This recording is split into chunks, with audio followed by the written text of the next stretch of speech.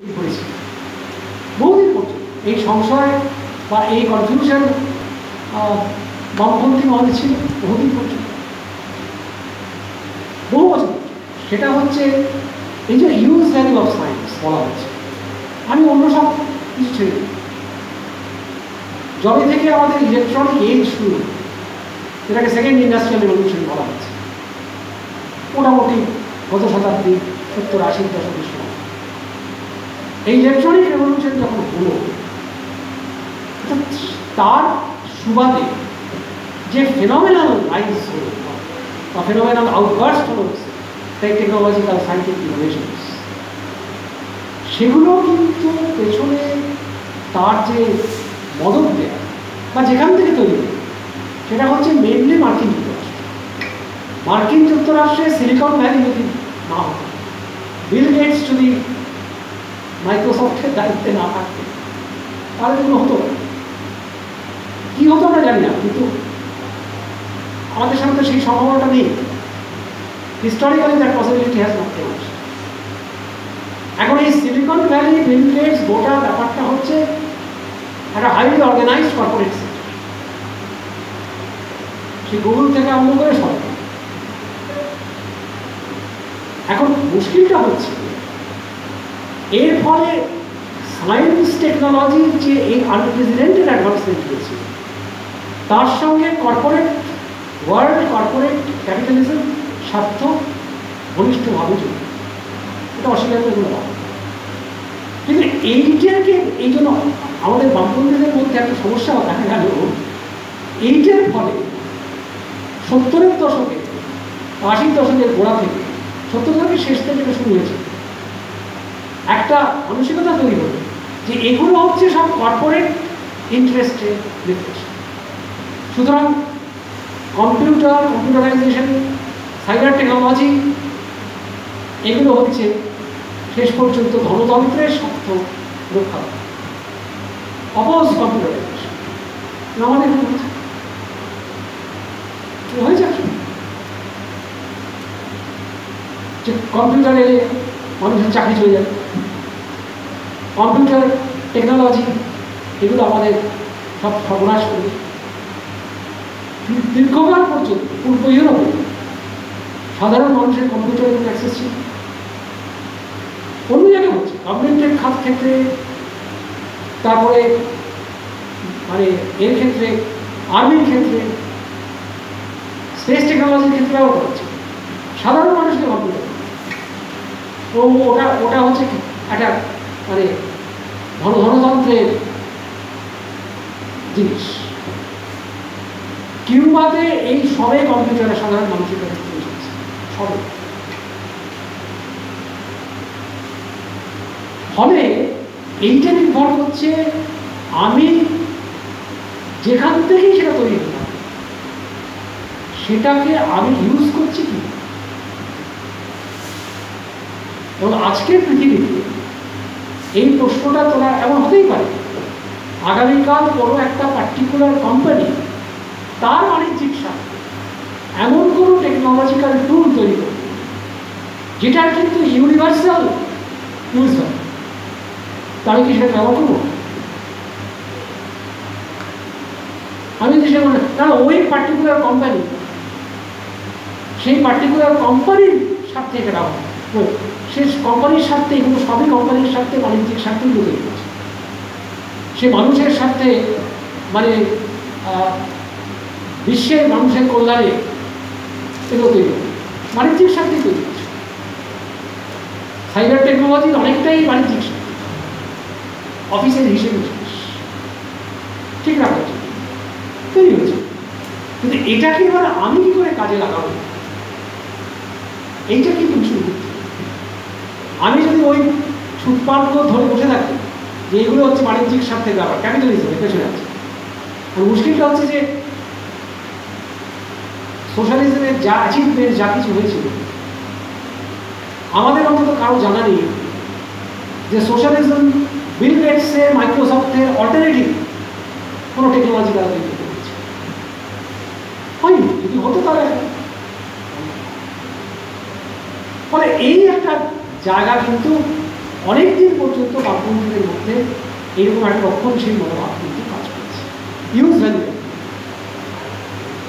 মানে use value আর instrumental value এই দুটো কিন্তু সম্পর্কে খুব সচেতন।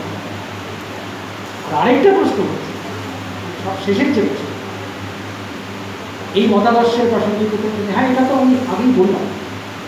আবেগের একটা জায়গা কিন্তু আছে এবং ক্যাপিটালিজমের কথা অস্বীকার করে কোনো লাভ নেই। এই নিয়ে খুব বেশি কাজকর্ম হয়নি। কিন্তু এইরকম একটা ভাবনা কিন্তু অনেকেই এখন বলেন বা স্বীকার করেন। ক্যাপিটালিজম যে এতটা আজ পাঁচশো, সাড়ে পাঁচশো, ছশো বছর ধরে টিকে আছে। টিকে থাকার একটা বড় কারণ, তার টেকনোলজি ইত্যাদি ছিল ক্যাপিটালিজম অ্যাপিল করছে ক্যাপিটালিজম কিন্তু অ্যাপিল করে ক্যাপিটালিজমের আবেদনটা হচ্ছে মানুষের ইনস্টিংক্ট আবেগ। সে আবেগটা কি? আবেগ, আবেগটা হচ্ছে যে তুমি অ্যাকোমোডেট করো। তুমি প্রপার্টি অ্যাকোমোডেট করো। তুমি যেটা সংগ্রহ করছ তুমি যেটা অ্যাকোয়ার করছ, সেটা তোমার নিজের। সেখানে আর কেউ হাত দেবে রাষ্ট্রের দায়িত্ব হচ্ছে এটা দেখা। এটা একেবারে সনাতনী ক্যাপিটালিজমের। রাষ্ট্রের দায়িত্ব হচ্ছে দেখা। তুমি যেটা সংগ্রহ করে আনলে, তাতে আর কেউ যাতে ভাগ বসাতে পারে। এটা আমার এই সেলফ এই সেলফকে সেলিব্রেট করা।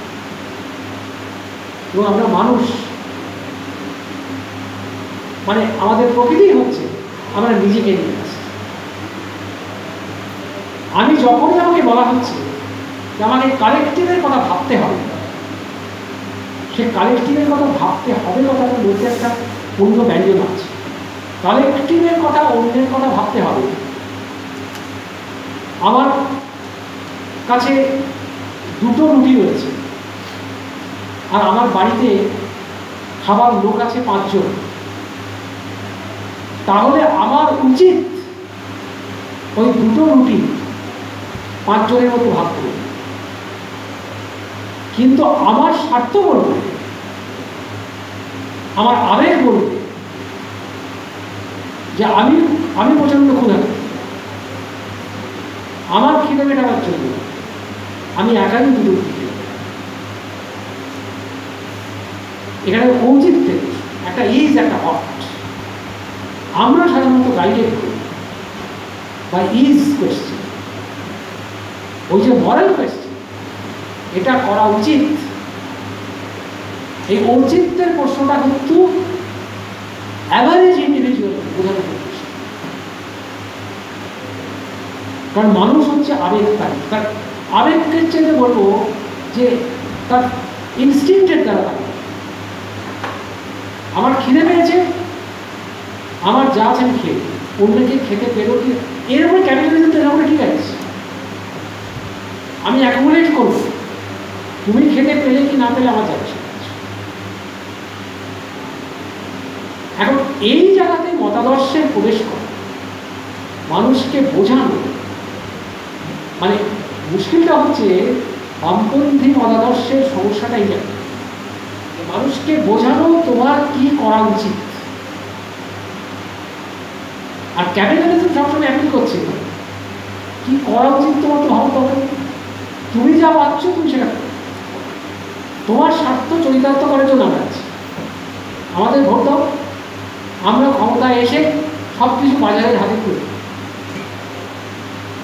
এবার তুমি তোমার স্বাধীন তোমার চয়েস ক্যাপিটালিজম দাঁড়িয়ে আছে চয়েসের you are free to choose আমরা তো কোনো বাধা দিচ্ছি কোথাও কোনো নিয়ন্ত্রণ নেই, সব সব নিয়ন্ত্রণ তুলে দিচ্ছি তোমার ক্ষমতা আছে তুমি করো। এবারে আরেকজনকে খেতে গেল, কি খেতে গেল সে মরে গেল বাঁচলো তোমার কোনো কথা অ্যাভারেজ মানুষের কাছে কিন্তু এটা ভীষণ ভালো তো সেই জন্যে একটা মতাদর্শ হয়তো পঞ্চাশ বছর বা ষাট বছর ভাবে আগে যেভাবে অ্যাপিল করতো, যেহেতু পরিস্থিতি পাল্টে গেছে, ওইভাবে যদি সেই মনোদর্শন আমার ফিরে না, সে কিন্তু কোনো- কোনো অ্যাপিল পারছে এবার একটা সাধারণ কথা বলছি। ইম্পিরিয়ালিজম কথায় কথায় আমরা সাম্রাজ্যবাদ সাম্রাজ্যবাদ বলছি। সাম্রাজ্যবাদ সত্যি সত্যি, আজ থেকে চল্লিশ বছর, পঞ্চাশ বছর আগে, সাম্রাজ্যবাদের যে চেহারা ছিল, তোমরা যারা এখানে উপস্থিত আছো, তোমরা এটা দেখো আমরা যখন ছাত্র ছিলাম, আমরা চোখের সামনে দেখেছি। প্রতিদিন খবরের কাগজে, তখন তার টিভি আসেনি, রেডিওতে যে খবর হতো, খবরের কাগজে যে রিপোর্ট হতো, ভিয়েতনামে প্রতিদিন বোয়া হচ্ছে, ধ্বংস হয়ে যাচ্ছে। বিভৎস বিভৎস দৃশ্য। কিছু কিছু সিনেমাতে দেখা যাচ্ছে, খবরে দেখা যাচ্ছে। পৃথিবীর বিভিন্ন প্রান্ত সাম্রাজ্যবাদের যে দাপট এবং যে অমানসিক অত্যাচার, আজকে কি আমরা ঠিক সেই জিনিসটা দেখতে পাচ্ছি? এখন অনেকে এই প্রশ্ন তুলছে। সেই সেই প্রশ্নের উত্তর খুব শক্ত সেটা হচ্ছে যে আজকে ভিয়েতনামে ওই জিনিস নেই। এখন সাম্রাজ্যবাদ সব কিছুর সামনে সব কিছুকে ছাপিয়ে একটা বিপদ বড় হয়ে গেছে সেটা কি ধর্মীয় সন্ত্রাস? ফান্ডামেন্টালিস্ট যখন তখন জমি হাত এটাই এখন জঙ্গি হানাকে ফলে মানে একেবারে নিরীহ মানুষ মারা যাচ্ছে। আজ আফগানিস্তানে কাল তুরস্কে পরশু ফ্রান্সে, পরশু জার্মানিতে এটাই বিপদ। তো সেই বিপদকে যদি ঠেকাতে হয়, তাহলে তোমার সফিস্টিকেটেড টেকনোলজি সেই টেকনোলজি কার হাতে আছে? মার্কিন যুক্তরাষ্ট্রের হাতে আছে। কার হাতে? সুতরাং ওই টেকনোলজি ব্যবহার করে এদেরকে খবর করতে হবে সুতরাং সুতরাং সাম্রাজ্যবাদের বিরুদ্ধে ফলে এইগুলো মানে বাস্তব অবস্থাটা কি? বাস্তব পরিস্থিতি কীভাবে পাল্টে যাচ্ছে। ইতিহাস কীভাবে পাল্টে যাচ্ছে। মানুষের স্লোগান পাল্টে যাচ্ছে। মানুষের ভাব, বোধ, যুক্তি, বুদ্ধি, সমস্ত কিছু পাল্টে যাচ্ছে।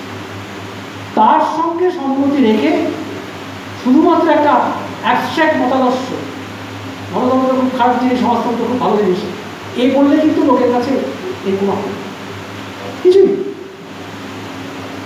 সমাজতন্ত্র বলে একটা মডেল তৈরি হয়েছিল, সেটা গেছে তা এখন মানুষের কাছে সমাজতন্ত্র খুব ভালো আর ধর্মতন্ত্র খুব খারাপ, এটা লোকের কাছে বললে লোক কেন আছে কোনো কারণ নেই তাহলে তোমার মানুষ যাতে অ্যাকসেপ্ট করে, সেই কথাটা তার মতো করে বুঝতে হবে।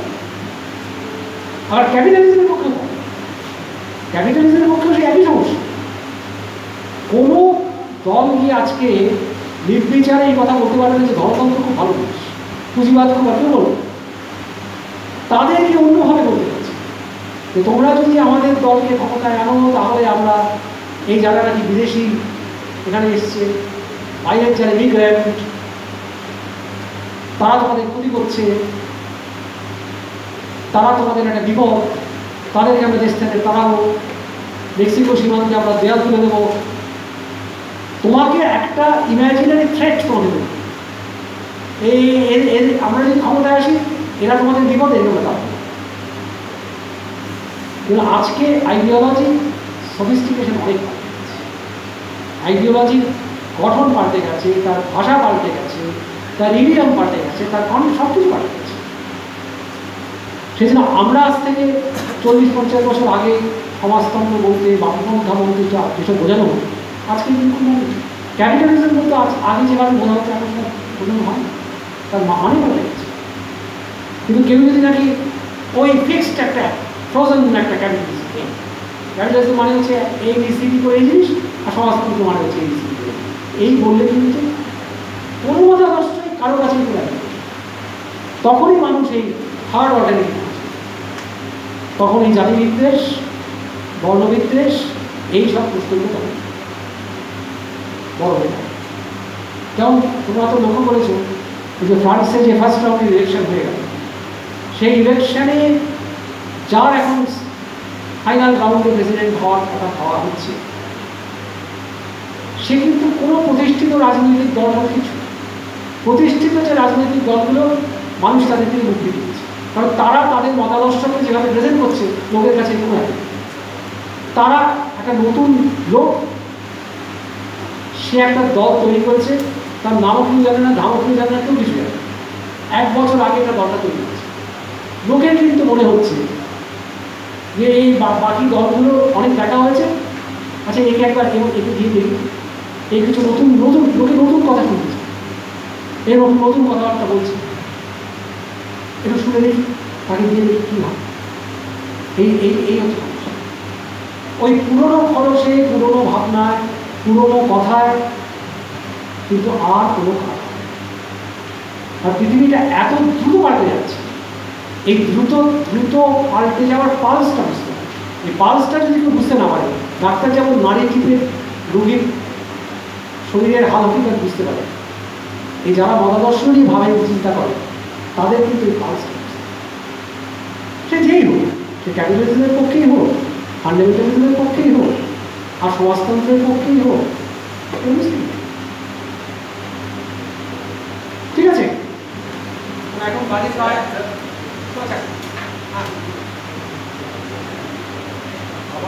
মা দুদিন বাদে আপনি আমার মা দুদিন বাদে বন্ধুতার কথা বলেছেন আমার মা দুদিন বাদে বন্ধুতার কথা বলেছেন আর লেখক হিসাবে সমাজতন্ত্র বন্ধুতার কথা বলেছেন। না এটার উত্তর তো আমি খানিকটা দিয়েছি। সমাজতন্ত্র নিয়ে হাওয়ারমাস আহ, এইটুকু বলা যেতে পারে হাওয়ারমাস পুঁজিবাদের বিরোধী। সমাজতন্ত্র বামপন্থার সামগ্রিকভাবে একজন সমর্থক। কিন্তু যেভাবে সমাজতন্ত্র প্রতিষ্ঠিত হয়েছিল, সোভিয়েত ইউনিয়ন এবং পূর্ব ইউরোপে তার সমালোচক ছিলেন আবার একই সঙ্গে তিনি এটাও মনে করছেন যে সমাজতন্ত্রের যে মার্ক্সীয় ভাবনা, তার পুনর্গঠন হওয়া প্রয়োজন। যেটা আমি বললাম ইন্টার সাবজেক্টিভিটির ধারণা আলাদা ওই ক্লাস ক্লাস স্ট্রাগলের ভাবনাগুলোকে ওই রকম ভাবে ভাবলে চলবে না। একটা ডায়ালগ একটা পুনর্গঠন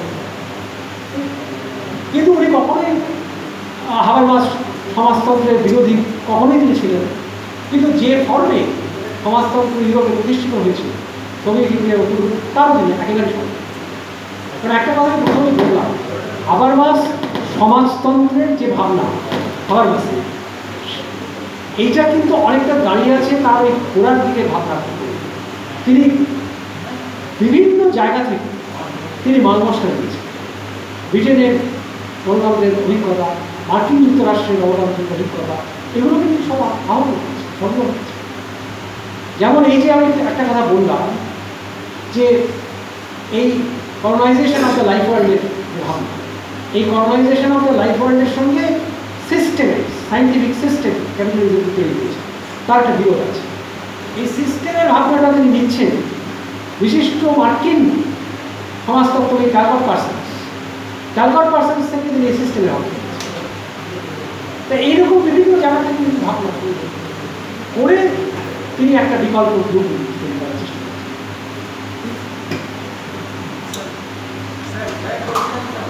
হ্যাঁ। বর্তমান দুনিয়াতে সাম্রাজ্যবাদের বিরুদ্ধে সিদ্ধিন্ত করতে পারি স্যার আমরা? বর্তমান দুনিয়াতে স্যার সাম্রাজ্যবাদের বিরুদ্ধে সিদ্ধিন্ত করতে পারি? একটা রাশিয়া একটা আমেরিকা ধরে সাম্রাজ্যবাদে সাম্রাজ্যবাদ দেশ বলতে দুটো দেশ একটা রাশিয়া একটা আমেরিকা স্যার। তো রাশিয়াতে স্যার কমিউনিস্ট পার্টি প্রথম বিপ্লব হয়েছিল সমাজতন্ত্র হিসাবে। এখন ওইটা স্যার মানে সমাজতন্ত্র স্যার সাম্রাজ্যবাদে পরিণত হয়ে গেল স্যার।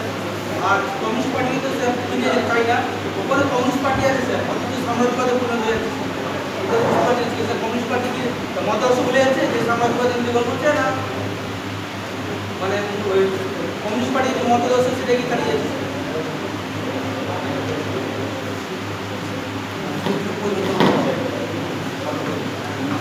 রাশিয়াকে কেউ মানে মার্কিন যুক্তরাষ্ট্রের যে ধরনের তার একটা সাম্রাজ্যবাদী লেভেল আছে। রাশিয়াকে কেউ এরকম একটা সাম্রাজ্যবাদী লেভেল কেউ দেয় রাশিয়াতে যেটা ঘটনাটা ঘটেছে, পুতিন ক্ষমতায় আসবার পরে যে প্রশ্নটা দেখা গেল সেটা হচ্ছে ইউক্রেন ইউক্রেন সমস্যা যখন দেখা গেল, তখন রাশিয়া সম্পর্কে একটা বড় প্রশ্ন দেখা দেয় যে রাশিয়া ইউক্রেন দখল করেছে। তখন সাম্রাজ্যবাদে ঠান্ডা যুদ্ধের সময় দেখা গিয়েছিল সেটা সাম্রাজ্যবাদ যুদ্ধ ঠান্ডা যুদ্ধের সময় রাশিয়াকে কেউ সাম্রাজ্যবাদী বলে। সোভিয়েত ইউনিয়নকে কেউ কোনোদিন সাম্রাজ্যবাদী বলে। সোভিয়েত ইউনিয়নকে বরং বলা হতো সাম্রাজ্যবাদের বিরুদ্ধে সবচেয়ে বড় বিকল্প হচ্ছে সোভিয়েত এইটা একটু ভালো করে মাথায় রাখার চেষ্টা করে সোভিয়েত ইউনিয়ন ঠান্ডা যুদ্ধের সময়, ঠান্ডা যুদ্ধটাই তো হয়েছিল ওই জন্য সাম্রাজ্যবাদী মার্কিন যুক্তরাষ্ট্রের সঙ্গে সাম্রাজ্যবাদ বিরোধী যে শিবির, তার একেবারে মাথা ছিল ইউনিয়ন একদিকে সোভিয়েত ইউনিয়ন আরেকদিকে চীন এটা হচ্ছে এক দু নম্বর হচ্ছে মার্কিন সোভিয়েত ইউনিয়ন ভেঙে যাওয়ার পর সেখানে যেটা আছে, একটা কংগ্রেস পার্টি, সেই কংগ্রেস পার্টির প্র্যাকটিক্যালি আজকে কোনো কাজকর্ম কিছুই সেই সেই কমিউনিস্ট পার্টি তো আর ঠান্ডা যুদ্ধের সময় কমিউনিস্ট পার্টি না। তখন তো কমিউনিস্ট পার্টি ওদের পাওয়ার। এখন তো আর সেই কমিউনিস্ট পার্টি ক্ষমতায় নেই। সুতরাং এখন সেখানে একটা কমিউনিস্ট পার্টি আছে, খুবই ছোট। তার সঙ্গে পুতিনের ভাবনা চিন্তার কোনো কোনো সম্পর্ক নেই। কিছুই সেই কমিউনিস্ট পার্টি হচ্ছে পুরনো সোভিয়েত ইউনিয়নের যে অফিসিয়াল কমিউনিস্ট পার্টি, তারই একটা ছোট্ট সংস্থা। এই হচ্ছে এবং রাশিয়াকে পুতিন সম্পর্কে একটা কথা বলা হয় পুতিন ইউক্রেন দখল করার পর এটা নিয়ে অনেক প্রশ্ন ওঠে। রাশিয়ার তরফ থেকে সেটা, এই প্রশ্নটা এখন অমি- অমীমাংসিত। পুতিনের তরফ থেকে অনেকগুলো বক্তব্য রাখা হয় যে কেন ইউক্রেন দখল করা হয়েছিল কারণ ইউক্রেনে একটা দক্ষিণপন্থী শক্তি উত্থান ঘটে। আবার ইউক্রেনের তরফ থেকে রাশিয়ার বিরুদ্ধে অনেকগুলো কথা বলা হয়েছিল ফলে ওই প্রশ্নটা কিন্তু এখনও পর্যন্ত অমীমাংসিত। এটা নিয়ে অনেক পশ্চিমী দেশও মানে ইউক্রেনের যুক্তি মানতে রাজি নন আবার অনেকে রাশিয়ার যুক্তি মানে ফলে ওই প্রশ্নটা অমীমাংসিত রাশিয়া সম্পর্কে যেটা এখন যেটা বলা হয়, সেটা হচ্ছে সাম্রাজ্যবাদী।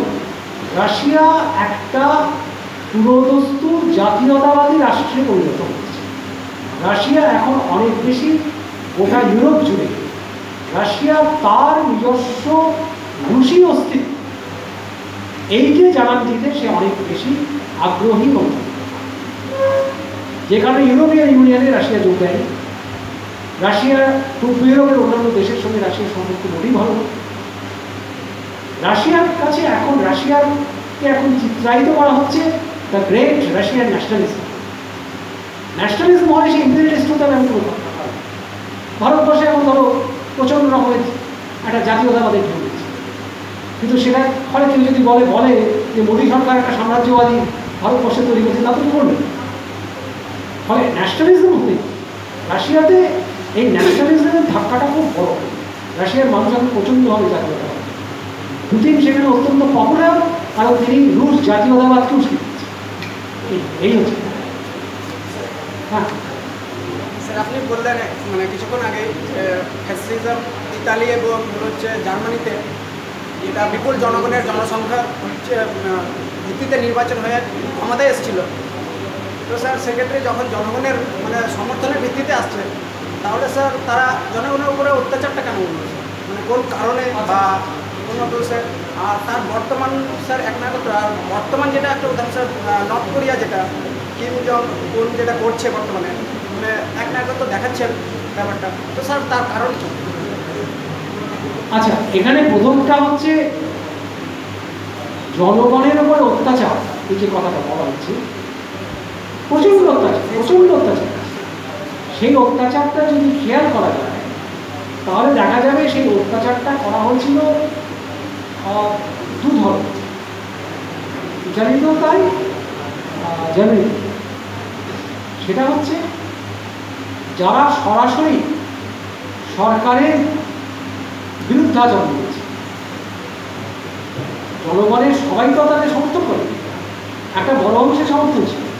কিন্তু একটা আরেকটা অংশ অবশ্যই ছিল, যারা নাকি ফ্যাসিবাদের সক্রিয়ভাবে বিরোধী করেছে সক্রিয় বিরোধী নিষ্ক্রিয় বিরোধী সক্রিয়।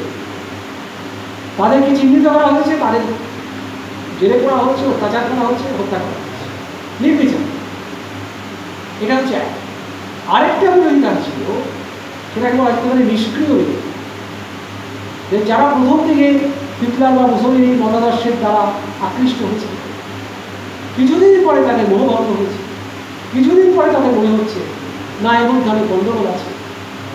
এটাকে আপনাদের পক্ষে সমর্থন করা সম্ভব। কিন্তু তারা সক্রিয়ভাবে বিরোধিতা করছে। নিষ্ক্রিয় বিরোধী অসহযোগী।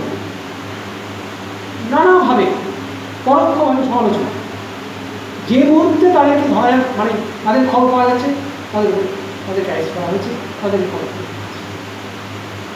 এই ছিল। আর নর্থ কোরিয়ার যে ব্যাপারটা নর্থ কোরিয়ার ব্যাপারটা কোনো সাধারণ মানে যুক্তিতর্ক দিয়ে তাকে বোঝা যায় নর্থ কোরিয়ার গোটা ব্যাপারটা হচ্ছে একটা ফ্যামিলি নিয়ে একটা পারিবারিক, সেখানে একটা শাসন চলছে। এবং নর্থ কোরিয়ার যিনি ক্ষমতায় এসেছেন, তার রাজনৈতিক বিচক্ষণতা নিয়ে অনেক প্রশ্ন আছে।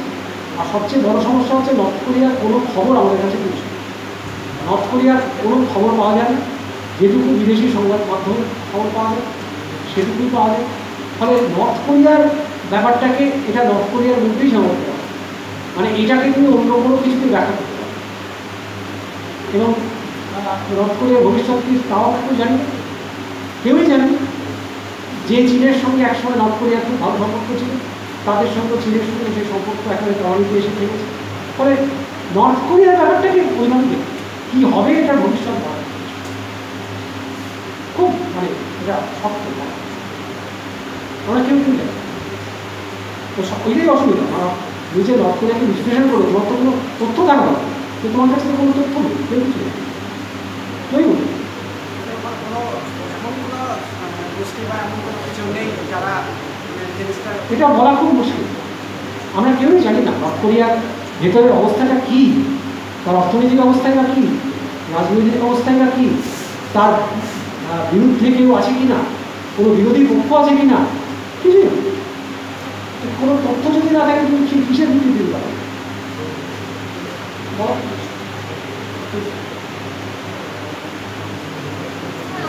হ্যাঁ আপনার কাছে যে পারস্পরিক বোঝাপড়ার সম্পর্কে কথা বললেন রিজেন তো সেই সম্পর্কে যদি একটা ব্যক্তি রিজনেবল হয়, তার মধ্যে যদি যুক্তিবাদ থাকে আর অপর একজন ব্যক্তি তার মধ্যে যদি আবেগপ্রবণ থাকে, তাহলে সেক্ষেত্রে ডায়ালগটা কীভাবে হবে?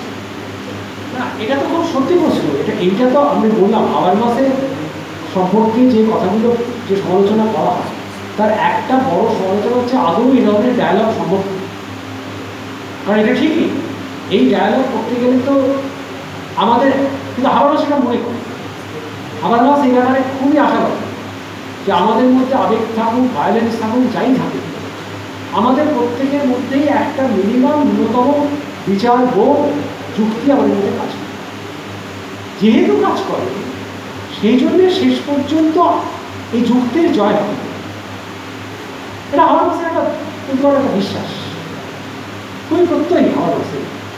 কারণ কেন আমি বলছি? কারণ আবার মাস যেমন এটা অনেকে বলে যে আবার মাসের এই বক্তব্য হয়তো ইউরোপের ক্ষেত্রে হয়তো সঠিক কিন্তু যেসব দেশের অর্ধেক মানুষ অশিক্ষিত, যেসব দেশে ধরো আমাদের দেশে মধ্যে বেশি যেখানে ধর্ম, কুসংস্কার, নানা রকমের আমাদের ধর্মীয় আচার, বিচার এর দ্বারা প্রভাবিত সেখানে যখন ডায়লগ করা সম্ভব, ইউরোপ অন্তত সম্ভব। ইউরোপের অধিকাংশ মানুষ শিক্ষিত, সেখানে হয়তো আবেগ, আবেগের চাইতে যুক্তির কথা বললে মানুষ সহজে সেটা বুঝবে। কিন্তু আমাদের দেশের মতো জায়গায় বা আফ্রিকার মতো দেশে এটা কি সম্ভব? এরকম ফলে এই সমালোচনা তো আছেই খুবই আছে। আমরা উনি মনে করছেন যে সম্ভব এই কারণে যুক্তি। যুক্তির জয় হবে। একটা কনসেন্সাস একটা সহমতে পৌঁছানো সম্ভব। যে কারণে অনেকে বলে যে আবার মাসে এই বক্তব্যগুলো হয়তো ইউরোপের পক্ষে প্রযোজ্য। কিন্তু ইউরোপের বাইরের দেশের পক্ষে আবার মাসে এই বক্তব্য কোনো যুক্তি। এই সমালোচনা করা হরমাস সম্পর্কে মানে ইউরোপে হরমাসকে খুব হইচই করা হয় কিন্তু থার্ড ওয়ার্ল্ডের ক্ষেত্রে, তৃতীয় বিশ্বের ক্ষেত্রে হরমাসের কোনো কোনো প্রভাব নেই।